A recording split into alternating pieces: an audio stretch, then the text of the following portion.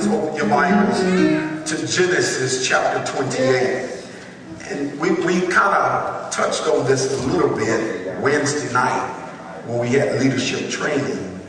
Uh, and because it, it, it touched the very core of my spirit, uh, it just would not let me go. You know, it's a good thing when you are held captive by the word of God.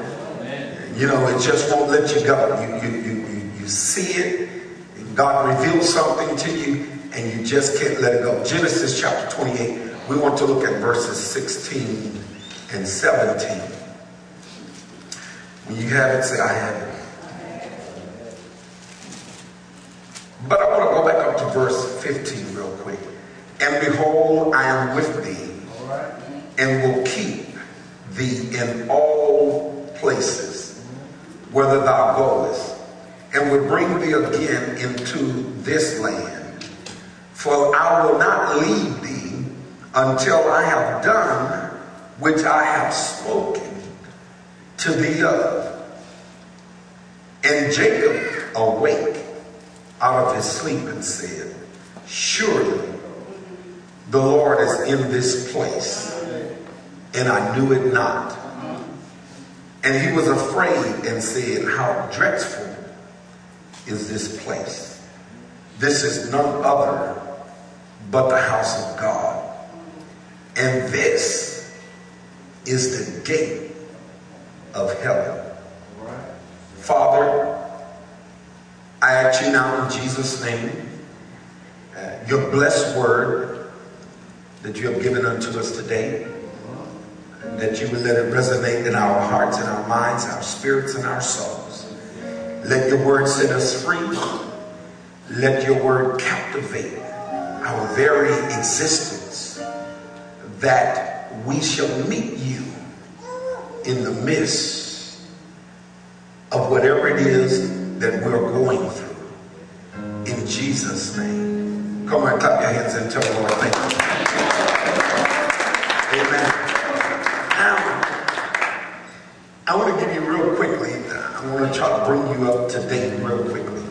First of all, Jacob finds himself in a position because of a choice that he made.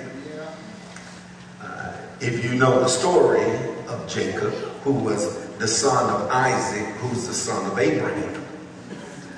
Isaac had grown old, and Jacob had an older brother named Esau.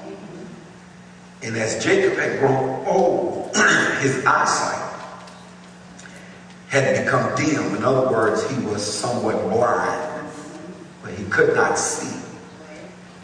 And uh, Jacob uh, was a hairy fellow. So what had happened is that uh, the father would always lay hands on the older son, and the older son will inherit the blessings of his father. Well, when Isaac had called for his sons, you all know the story. I won't even get off into all of it. But Jacob kind of did a little deception there, kind of got the blessing in front of his brother Esau. Well, Esau became angry. And Rebecca, who's the mother of both of these boys, uh, she was listening as Esau had became so frustrated till he began to speak out and said that he was going to kill Jacob. When Rebecca got the news, she went to Jacob and told Jacob what his brother Esau had planned in his heart.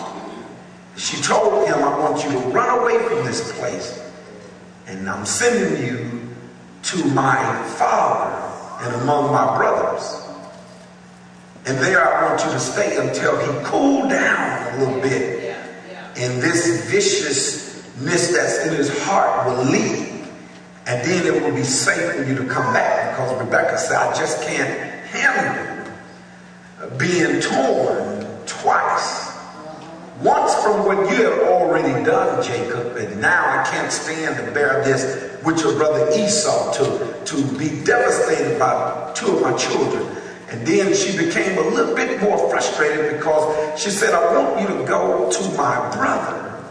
Do not choose a wife among the heathens or among Abraham's, but I want you to choose a wife among my brother's daughters. Now Esau was listening to all of these instructions that, that knew that his dad would not want them to marry outside of what the plans were. So what Esau had set out to do was deceive his dad. He, he couldn't wait to go and marry. In fact, he went and took him wives of what he knew his dad was against. But we're talking about Jacob. So here it is. Jacob runs away and he went to a place called Luz, L-U-Z, to hang out there.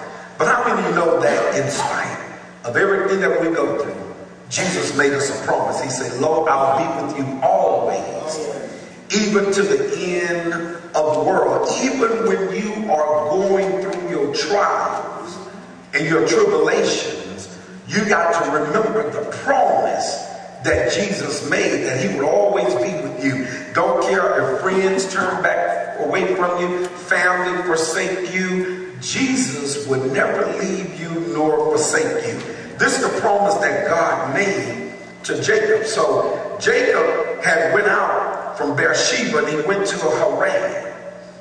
That's up in verse 10. Uh, and then he, he looked while he was tarrying there all night and he was tired.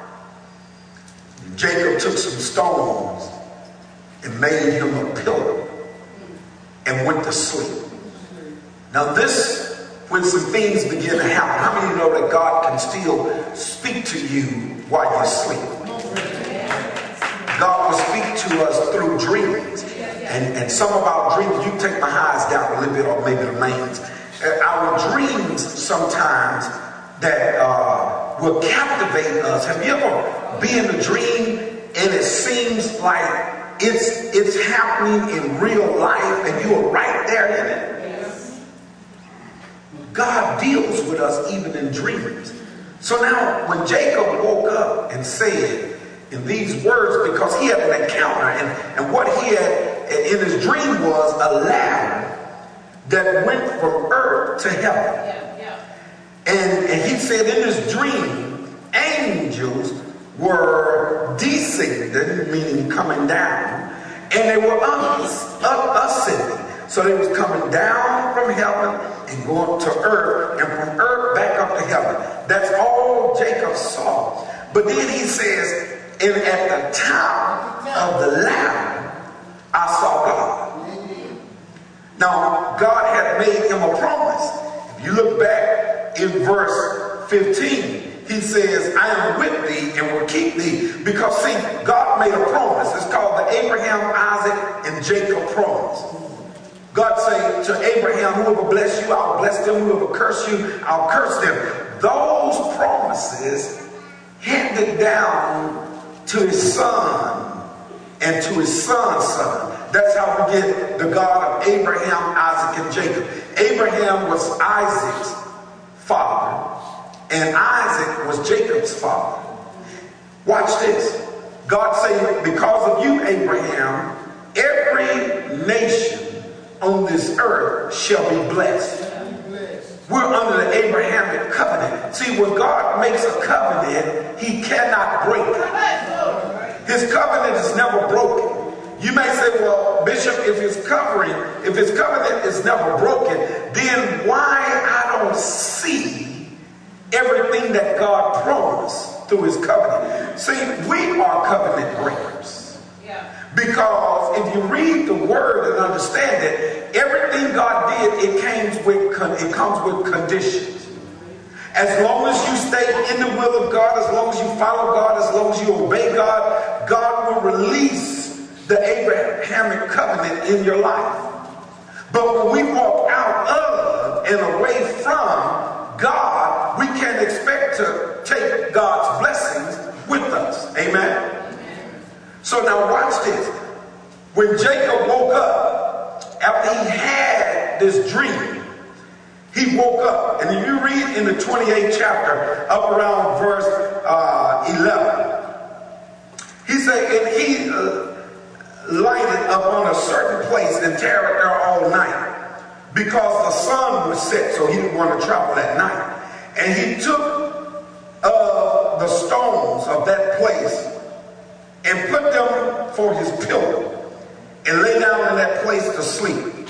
And he dreamed, and behold, a ladder set up on the earth, and the top of it reached to heaven. And behold, the angels of God ascending and descending on it. And behold, the Lord stood above it and said, Look what the Lord said unto Jacob. I am the Lord God of Abraham, thy father, and the God of Isaac, the land whereof thou liest to thee. Give it in to thy seed. So I'm going to give it. Now, watch this. Abraham had grandchildren. Y'all understand? Y'all with me? But you never hear God refer to any of his blessings to grandchildren because God don't have grandchildren. God have children. So we may be grandchildren of, of our grandfathers and grandmothers, but to God we are all his children. equality on God's blessings. So watch this what he says. He says, I am the Lord God of Abraham thy father and the God of Isaac. The land whereof thou layest to thee I will give it and to thy seed. And thy seed shall be as the dust of the earth. He spoke these same things to Abraham shall be as the dust of the earth, and thou shalt spread abroad to the west, and to the east, and to the north, and to the south, and in thee and in thy seed shall all families of the earth be blessed. Now, God said these same things to Abraham that he's speaking to Jacob. And behold, look what he says in verse 15, I'm with thee now, number one, in verse 13, God told him that I'm with thee, I'm Abraham's God. In verse 15, he says, I'm with thee. And watch this here. Not only is God with us as he was with Jacob, but he says, I will keep thee.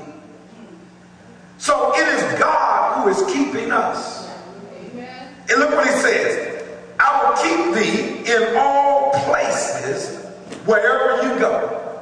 Saints, can I submit to you this morning that makes no difference where we go, God is keeping us? I don't care where you go, God is keeping us. Because if God was not keeping us, in some of the places that we went in life, the devil would have killed us. But because God is keeping us, look what he tells him, I'm still in verse 15. Not only will I do that, he says, all places where will I go, and will bring thee again into this land. I don't care where you go, I'll bring you back to this land. What am I saying? Wherever we may travel in life away from God, God always has a way of bringing us right back to him. You know the Bible say, train up a child in the way that they go, that when they are old, what? See, that's why, and I don't want to touch on this, but I just want to say this. Train up a child. See, if little Johnny is putting on his mama heels and having a purse and he's two years old and everybody laughing, you training him. So by the time he hit 10, 11, 12 years old, and he's not acting like a man, but acting like a woman, it's because you trained him. So you're supposed to correct those things while in between one and five years of age is a child's most devastating learning part. My grandbabies are like, uh, the, the, two youngest, the twins, they're like 18 months. My mother taught them sign language. You know, when, when, when, when London, when she wants, when you give her a piece of banana and she eat it, and she want more, she do this. That means more. You know, I didn't understand that. I'm like, what is she doing? What, what is? And the wife saying, she's telling you she want more. They are smart and wise. But now look at what Jacob, God said, I'm going to be with you. And he said, your seed shall be blessed. All the families of the earth, everyone shout, I'm blessed. I'm blessed. And behold, I am with thee and will keep thee in all places. I'll bring you back again. I will not leave thee until, now this is part of love. God said, look, Jacob, I'm not going to leave you until I have done everything that I told you that I'm going to do for you. It's in verse 15. He said, I will not leave you until I have done that which I have spoken to thee of. Excuse me, God has spoken some things that he says he's going to do for us. But we have given up on the dream and the hope and the promises of God because God may not be moving as fast as we want him to move. So because God is not moving as fast, we step and say, well, you know, he may not come when you want him, but he's on time. Again, I got to reflect back to the words Brother Dale said, is that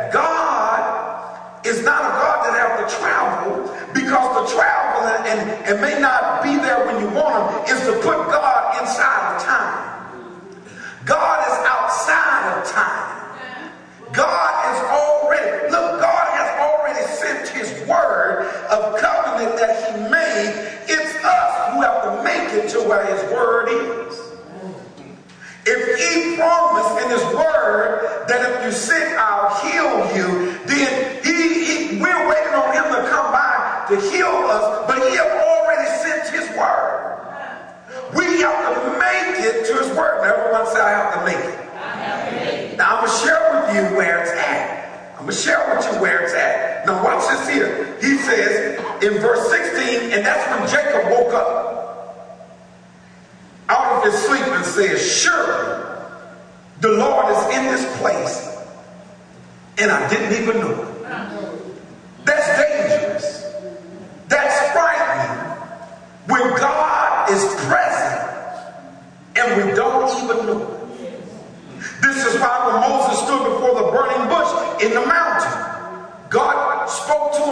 burning bush, and all Moses saw was fire because God is represented as a consuming fire, but yet the bush was not consumed. And then God said, Pull up your shoes, for where you stand is holy ground. Now, watch this here.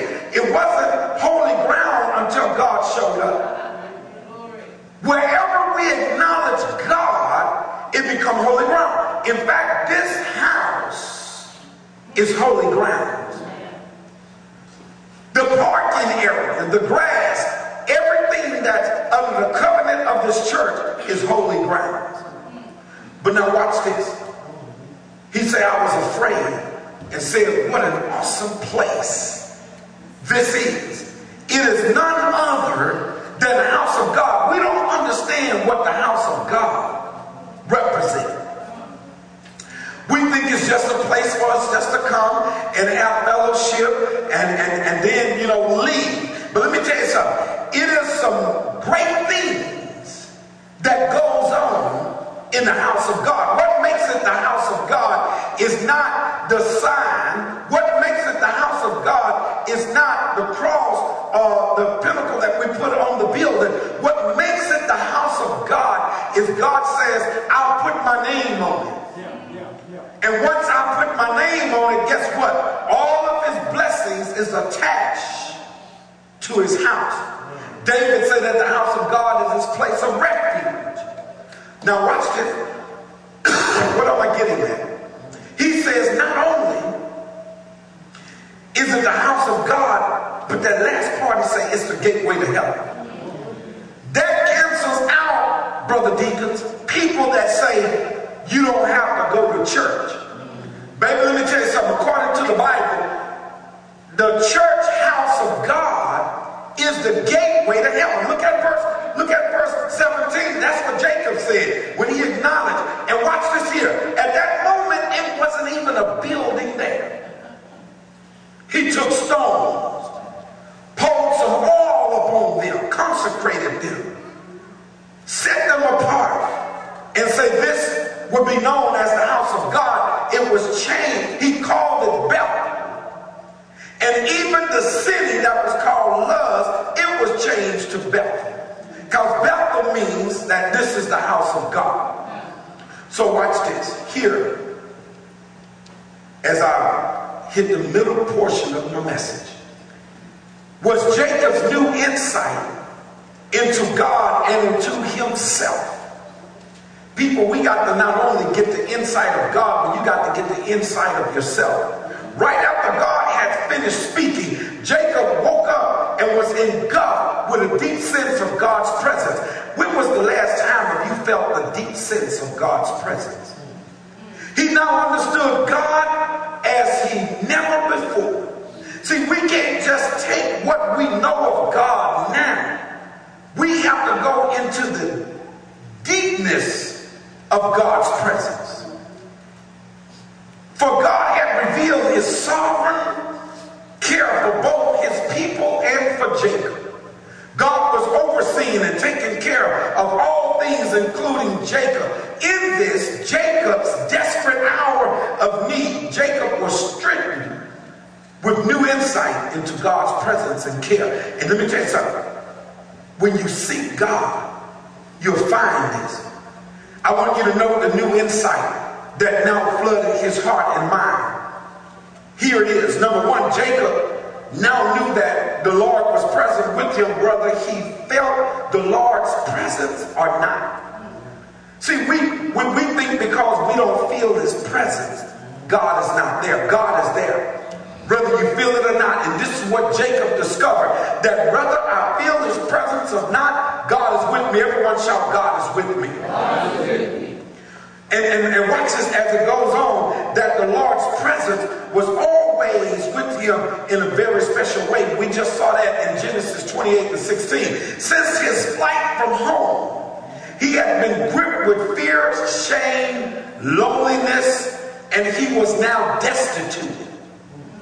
He had been suffering mentally and emotionally for days. How many of us suffer mentally and emotionally? And he was sensing great conviction of his sin because of the great wrong he had done against his father and his brother. He had been in the very depths of discouragement and despair. And we all sometimes become discouraged. We all sometimes have become desperate. Sometimes just life itself can discourage you.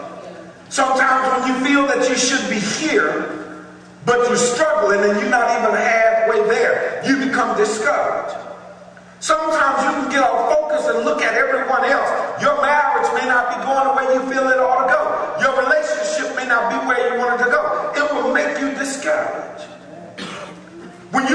your bills and then look at your income, it'll make you discouraged. It'll put you in despair. So we all have that. But God had met him in his desperation and need. That's what we ought to shout thank. Because once you hit that point of desperation and need, that's where God meets you at. But here's the problem. Is when you feel your husband or your wife, your mama or your daddy is more to you than what God is, you missed the big picture. Because let me tell you something. I don't care if your daddy is Warren Buffett, one of the richest men in the world. He cannot, and his money cannot do for you what God can.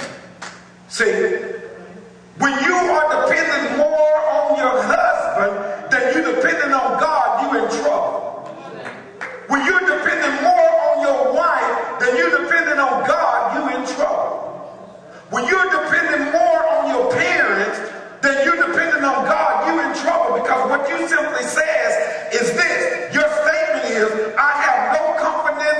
trust in God. I have confidence in this person or that person. It cancels out God's promises because God's promises are only activated in our lives when we depend on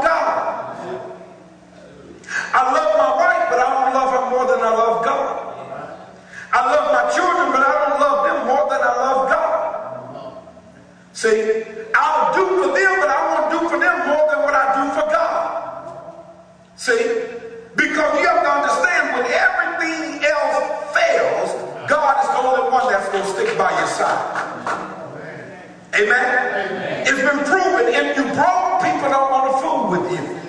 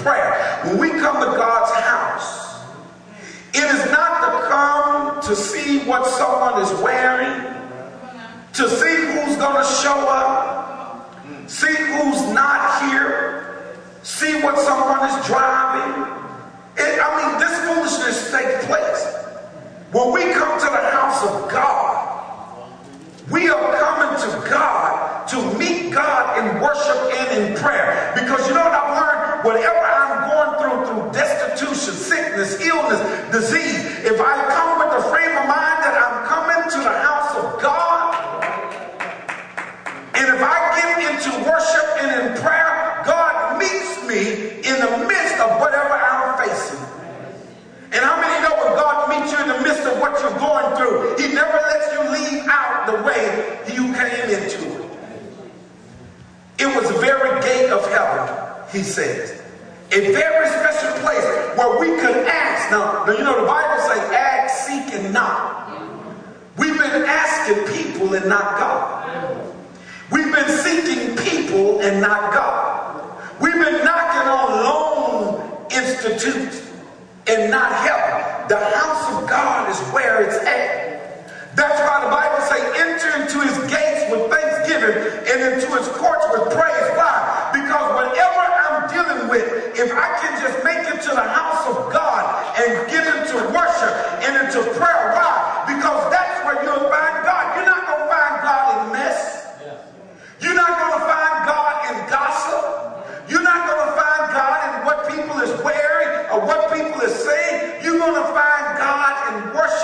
and in prayer. And when you find God in worship and in prayer, then you'll start seeing healing. You'll start seeing deliverance. You'll start seeing blessings. You'll start seeing being set free. You will experience these. This is what Jacob felt.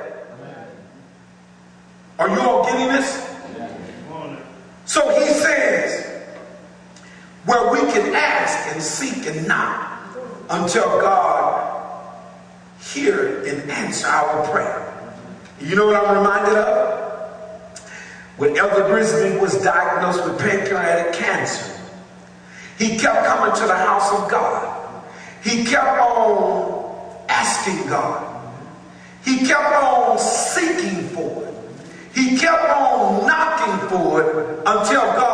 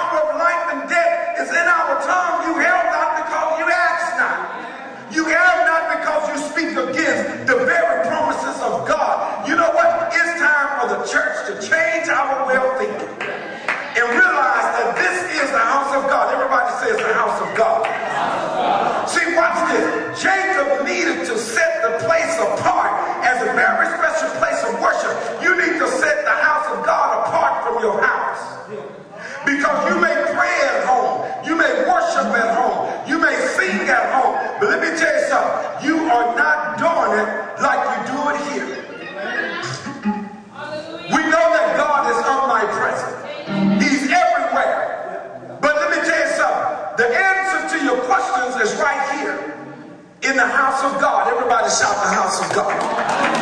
Touch your neighbor and say it's in the house of God. So see, note that Jacob had fallen back to sleep sometime during the night when he awoke. He dedicated the place as a special place of worship. You ought to be saying, Lord, your house will now become my special place of worship. And when somebody come up to you to gossip, you ought to tell them, not, no. Not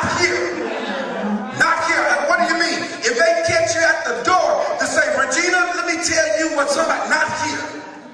You know, when somebody catch you coming into the restroom and they say, you know what, Brother Harry, did you hear? Not here. Not here. You know, Tiffany, oh girl,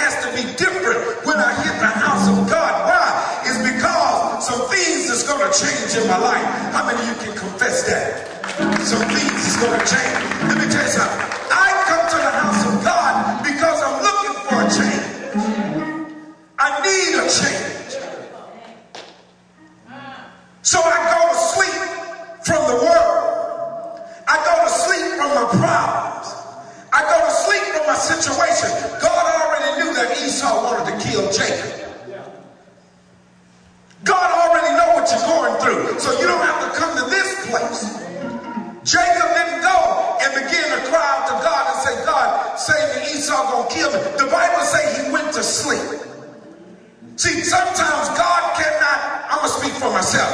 There are some, there are many times that God speaks to me when I'm asleep.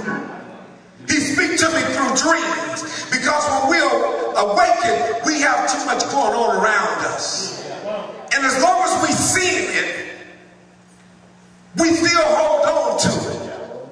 See? But when you are asleep, you can't hold on to it. Because how many of you ever been broke but you went to sleep dreaming about broke? And watch this. But once you hit that deep sense of sleeping, and you lay there praying to God, something happened in between when you went to sleep and when you woke up. Do y'all know what happened? God took all your worries away from you. And you were able to go to sleep in some peace.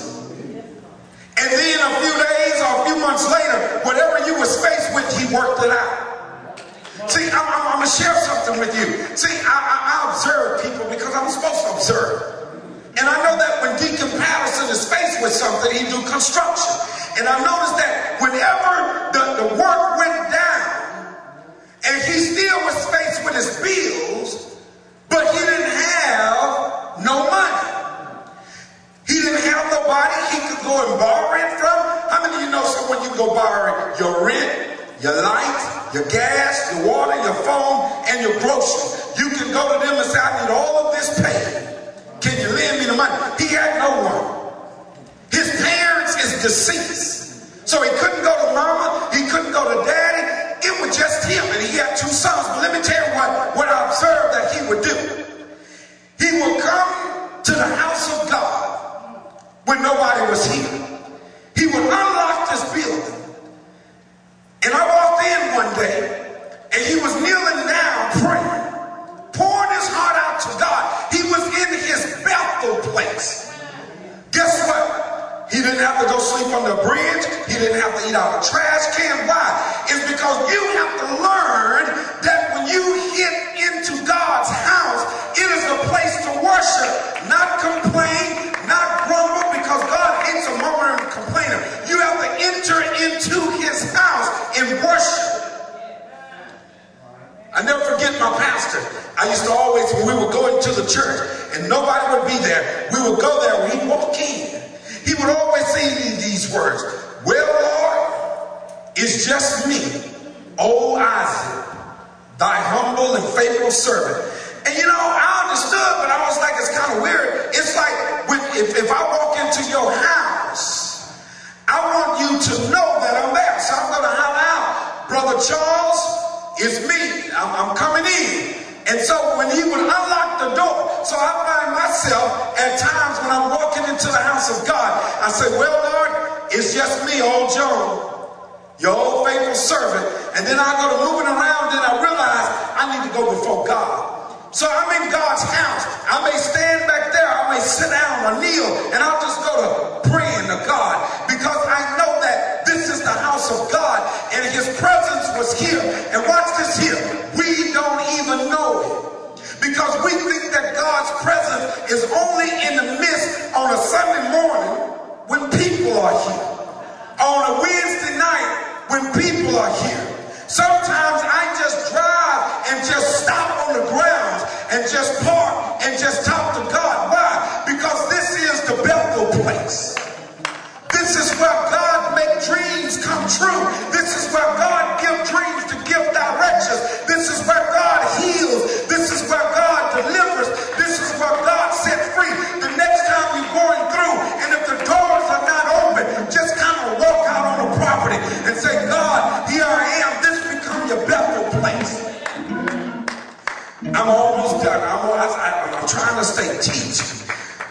Excited. I, I, I, know I know what's going on at 12. I know. So he dedicated. When have you dedicated this place as a place of worship? I'm not talking about corporately, but when have you done it? When have you said, Lord, I dedicate this place? Because I'm, well, let, me, let me move on. Don't even worry about it. He built an altar.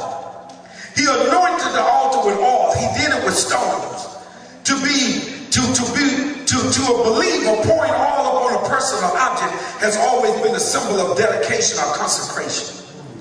You know if you like sitting in a certain seat it's okay. I ain't got no problem. If you like sitting in that seat and you get that seat every sunday because you hear it's no problem to take a little oil and just put on a chair and say i got to anoint this place. Why? This is my very special place where I sit and meet and have a little counsel with God. Am I making sense to you? Jacob was dedicating the place to God as a very special place of worship. And let me tell you what we did when God first gave us this property. We went to the very end of it. And we stood there and we had communion. And we prayed. And when the slab was poured, we would come over here and pray. Some just drive by and say, Lord, I know you're going to do it. I'm believing and trusting in you. Everybody was laughing. Everybody was talking about us. Everybody was putting us down. Everybody was saying, you know what? They done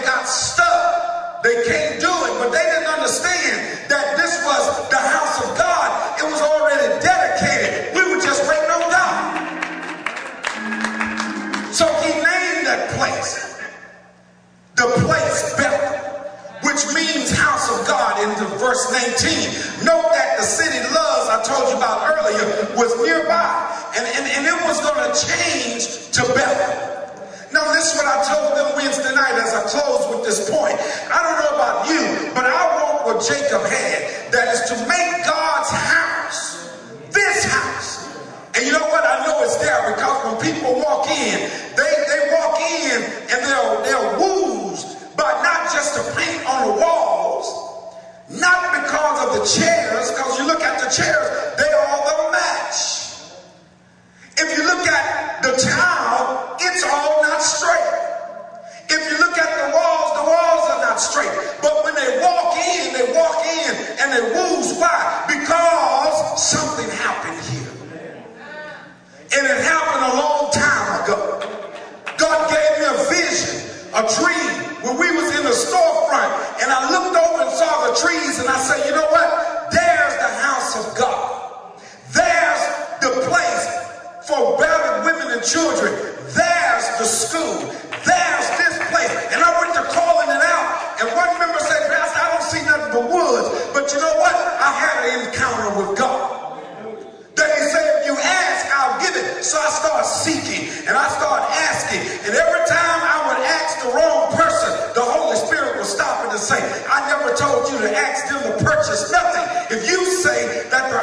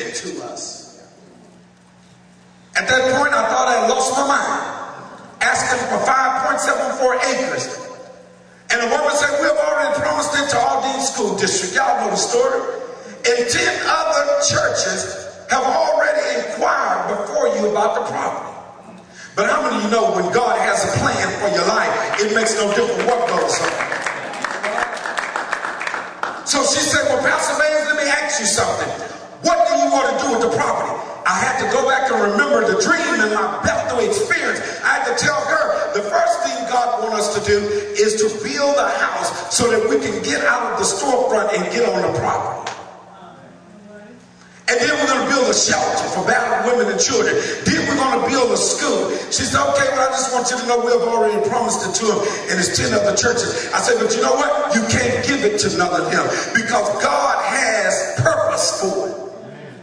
She said, well, okay, I understand. She was a Jewish woman. How many of you know months later I got a call? The Holy Spirit said, call, check your voicemail. She called. She said, Pastor Baines, do you still want the land? Well, you know what? I've given Aldine School District enough time. And far as I'm concerned, the property belongs to you. It's yours. How do you want the title, the deed?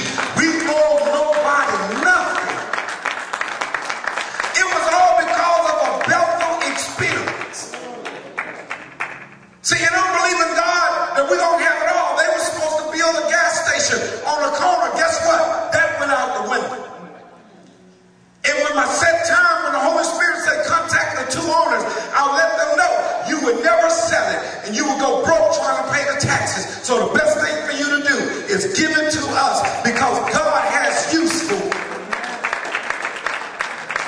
You got to know the God that you serve. And I want what Jacob had, and that is to make God's house a place where people encounter the presence of God. Because if we can get you in the presence of God, your life will change. That's why I tell the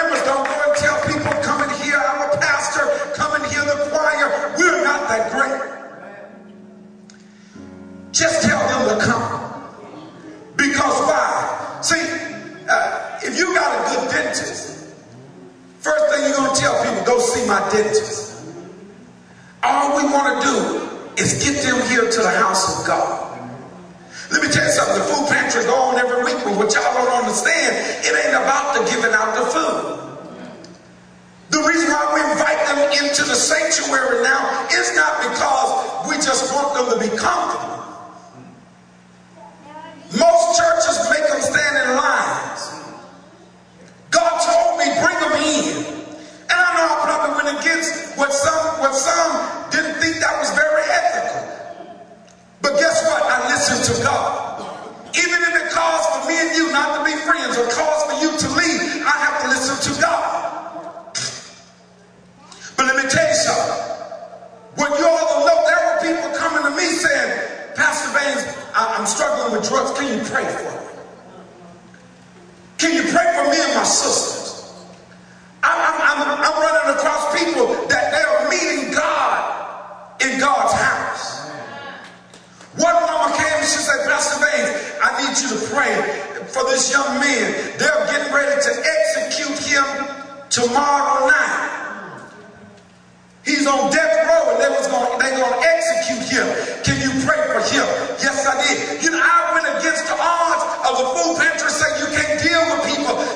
Church matters. Guess what? This is the house of God.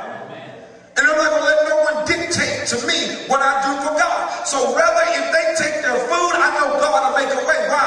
Because God made a way at one point. We was giving out 100 to 150 turkeys every year. So then I asked everyone if they would just give me a moment to pray. And we prayed for that young man. And then guess what? Oh, glory. Y'all don't understand. When I sit at home that night, the news came on. I think his name was Anthony Smith. And when the news came on, they says Anthony Smith, who was on death row to be executed tonight for killing, I don't know who it was, his stay has been granted. All I did was just sit there in my better place and say, Thank you, Jesus. Why? Because God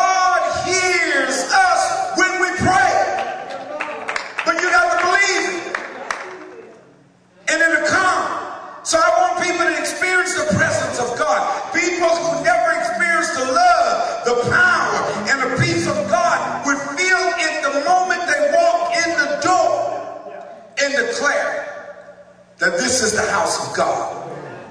Most people think the house of God is involved with people being jumping around all the time. That's good. And praising, that's good. But you know what? God is not bothered about that.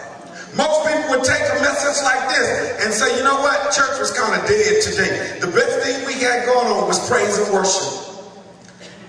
Did y'all notice that that was a little bit different this morning? We have to change the atmosphere. See, when I walk in, I want to, I know that God is here. And we all have problems and issues. And you know what? I don't need nobody, and look, please don't take this the wrong way, but I don't need you running up to me telling me about your problems. Because I have some too. That's just why we in Bethel Let's just let God work them problems out. It's all right for you to come and say, Pastor, I'm going through. Because I've learned now, instead of trying to dictate to you what you ought to do, I'm going to say, you know what? We meet God this morning, we'll both go before him on that. Yeah, we don't even have to talk about it. We'll just bring it before God. How many of you, can y'all understand what I'm saying? It's there, people of God. It's there. It's the house of God. It's the house of God. That's all my desire is that when people come into this place, and you all should see the expression. When they walk in, they're never the same. They're looking, they just, they just woos. It's nothing about the color. It's because God's presence is here. And if you never see people standing up clapping and getting all excited, it does not mean that God's presence is not here. God's presence is here.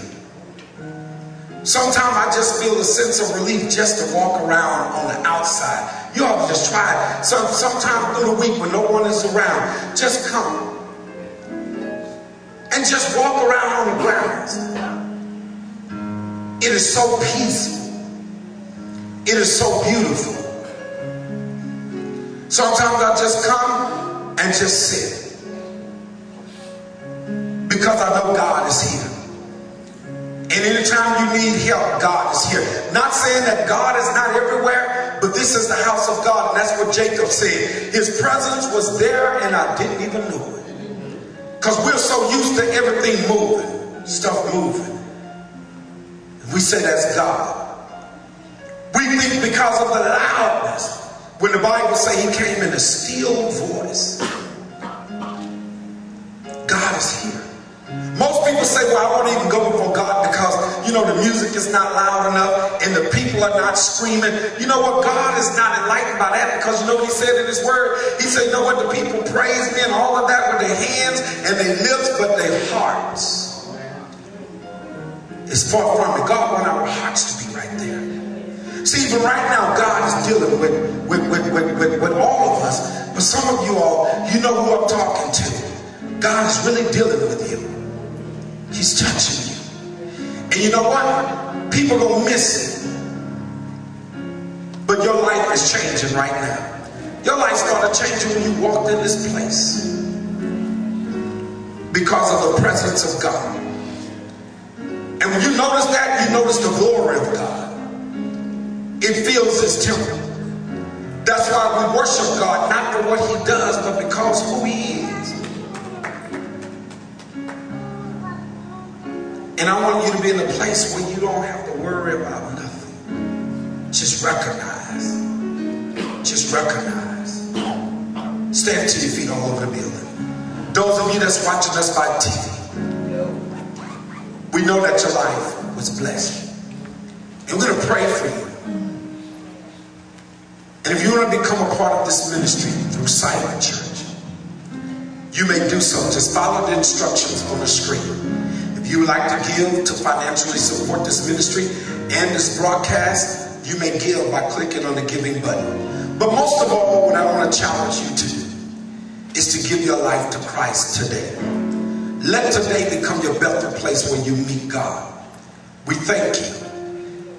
And we know that you did not tune in to this broadcast by accident. You tuned in because God wanted you to know that He's always with you. Let us pray for you now. Father, in Jesus' name, to those who are watching by TV, God, we thank you. I pray right now for that man or that woman who's watching that their lives will be transformed, that they will find their better place. When they enter into your house, I pray that they will discover your presence. And God, that they know that you are always with them. May your blessings and your covenant and your promises overshadow their life. I pray for your mercy and your forgiveness over their sins and their iniquities.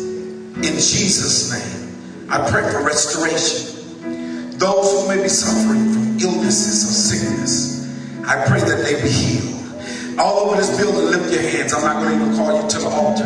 But God, because of your presence, we know that healing belongs to you. Heal cancer in the name of Jesus. Heal high blood pressure and diabetes in Jesus' name. Heal depression, destitution, deliver in the name of Jesus. We thank you right now, God. All over this place, God, your presence and your glory is in this place. Forgive us all of our sins as we stand before you this day. We don't want our words just to be words. We don't want our hands just to be hands, but the words say lift up holy hands. And our hands we lift before you in this place. This place we worship you. This place is where your presence is. In the name of Jesus. To that man or that woman that's been praying to you for change, thank you. The deliverance has come. In Jesus' name. God, by the power of your word, your anointing, I declare now that every stronghold is destroyed. Every burden, every yoke is destroyed. In the name of Jesus, we give you praise. We thank you. We never like to end a service without giving you an opportunity to be connected to the body of Christ. We do it by the way of saying, as the deacons come, the doors of the church is open. There may be somebody who may want to come. And I know that we, we have our offerings, but this is the first offering that we give God. If anyone would like to give their life to Christ, if you like to become a part of the body of Christ here at Heart of Faith, you may come forward to the altar.